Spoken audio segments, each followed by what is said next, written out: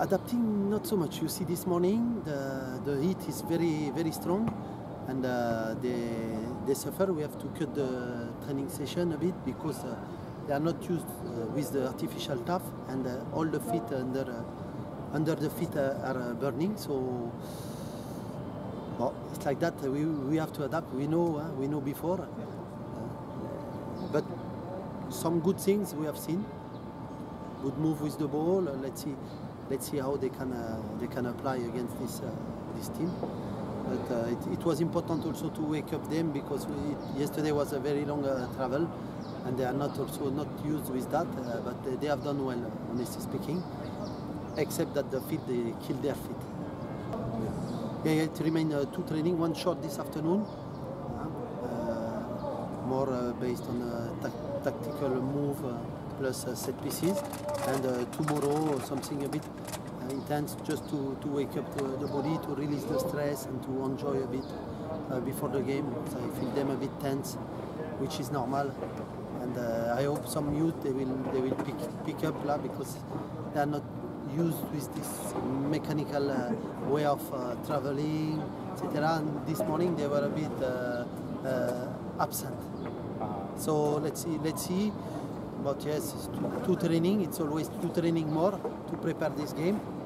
And I repeat, it will be really not easy. I can feel it.